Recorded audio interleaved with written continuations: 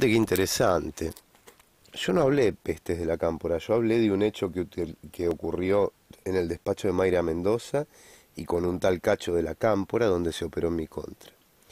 Fíjate qué interesante, yo no hablé eh, pestes de Lorena Pocoy, yo hablé de gente ligada al JP Descamisados que operó en mi contra, no de Lorena Pocoy, nunca hablé mal de Lorena Pocoy, al contrario, la defendí. Ahora, me resulta interesante cuáles son las expresiones que toma este Juan Carlos Tambasco cuando decía este muchacho Mancusi que era amistad de él Tambasco, eh, Juan Carlos Canigia, que dice que se apellida Tambasco, me mostró el, el DNI, y fue compañero en la Revolución de Mayo de Gabriel y mío, Canigia. Me llama la atención como muchas veces ocurre esto con distintos militantes, ¿no? que me endilgan a mí dichos eh, nefastos que han tenido ellos, especialmente teniendo en cuenta las operaciones de red.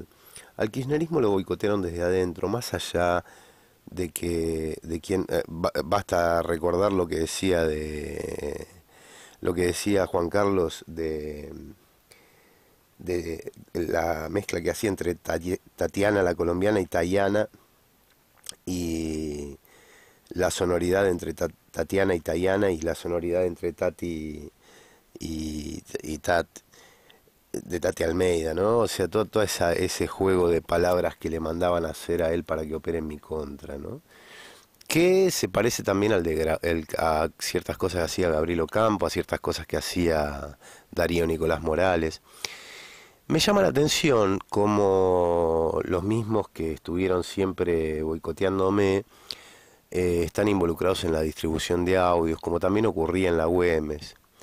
Me llama la atención porque significa que en varios sectores del kirchnerismo respondieron a un sector eh, o a alguien que políticamente tenía algo planificado en mi contra dentro del kirchnerismo. Entonces, si ya tenía algo planificado dentro del kirchnerismo en mi contra a alguien,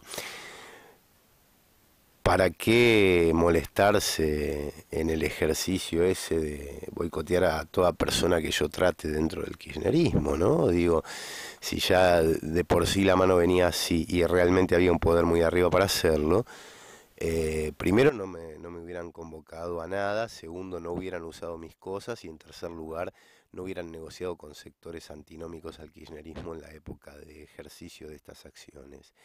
Y ahora lo, lo plasman en, en, este periodo, estamos casi a principio del 2019. Eh, es extraño. Eh, dice que María Suárez se fue a la Cámpora, a Plaza Italia, dice Juan Carlos Tambasco, dice que no está más eh, María Suárez en, en la comuna de Once donde estaba antes con él.